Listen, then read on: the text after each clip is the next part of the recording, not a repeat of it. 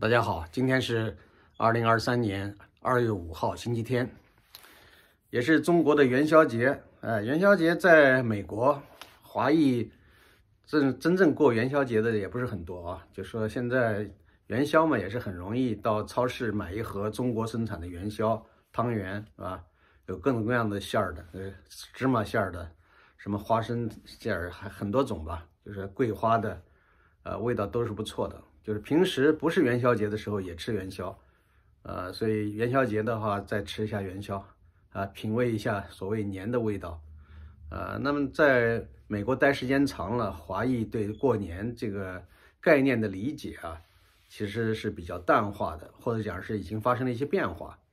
就不像非得在中国那样一切按照中国的习俗来，只是保留了部分内涵。可能更多的是一种这个亲友们相聚啊，朋友们相聚的这样的一个机缘，呃，那么有的人关心我，就说最近好长时间没有看到我做视频了，呃，确的确是这段时间比较忙，呃，还有呢，还有一些其他的因素，所以呢做的比较少，呃，在此跟各位说一声抱歉，呃，我是尽可能的吧，在呃有时间这个各方面条件允许的情况下。呃，今后一段时间尽量多做一点，所以跟大家做一个解释。呃，那么做视频呢，现在讲就是说，呃，我在油管上做视频，算起来的话，也有差不多五年的时间了，啊，前前后后，陆陆续续，断断续续，啊，那么有的时候呢，的确是受到很多的网友的鼓励啊，观众听众的鼓励和支持厚爱，啊，所以比较有信心。有的时候呢，也受到油管油管的打压，或者是其他一些人的别有用心的人的这个故意的捣乱，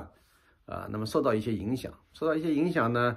有的人说是你自己个人的问题啊，我说有些情况你们不了解啊，就是说个人呢，你说我当然不算是网红，我做不了像网红那样的事儿，我也不会像网红那样去表现，呃，但是呢，从另一方面来讲。如果没有一些真实的打压的话，也不会是像现在这样一个状态。其实不光是这个油管了，还有其他的一些，啊，反正我这个人是在很多地方是受到一些打压，呃，这个无论是在中国还是在美国，有人说在美国不是自由世界吗？怎么会是还会受到打压呢？啊，你知道中共的这种呃渗透和影响现在是相当的大，呃，不要说是在中国，就在美国很多的机构已经。在过去的几十年里边，受到中国的层层的啊长期的渗透、统战各方面的影响，啊，还有金钱方面的这种控制，所以说不是没有发生作用和影响的啊！不要说我们这样的一个普通的学者，就连一些这个美国的政客啊，也都受到或多或少的影响。呃，那么在这儿呢，就是新的一年。我也不想再说这些为自己找客观原因的这样的一些话了啊，反正就是说，我也没有太认真啊，把这个当做一个事业来做。因为你在油管上做视频，一个是宣介自己的一些观点、一些见解啊，包括对一些时事问题进行一些分析、剖析，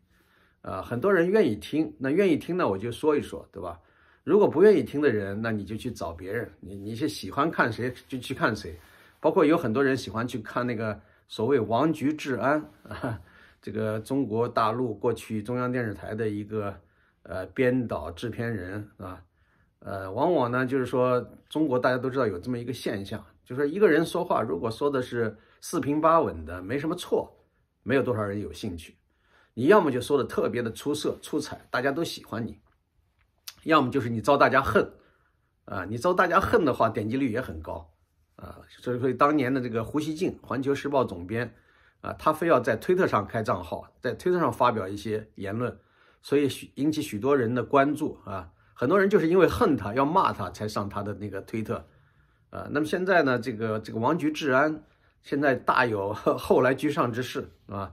当然你说王局治安他到底是不是共产党的走狗？呃，他到底是不是完全的拥护共产党？这个东西呢，有的人不这么认为。有人说他毕竟逃到海外来了，啊，他现在在日本定居，他以后可能还会回中国大陆，所以呢，他也不认为他自己是反对中共的，甚至他一口一一句的，呃，口口声声的就骂一些反贼，他认为反对共产党的人就是反贼，所以这种这种思维和语言表述，就说明他是什么样的一个货色啊！这种人还自以为自己很高大上啊！所以呢，这种东西就是说，这种货色在海外其实还是蛮有有有蛮多的，有的还挺有市场啊。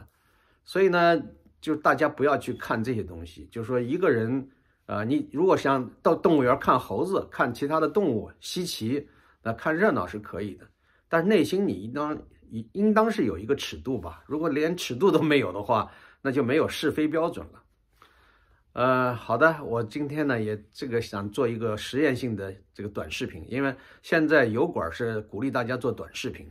啊，好，我先说到这儿吧，谢谢各位。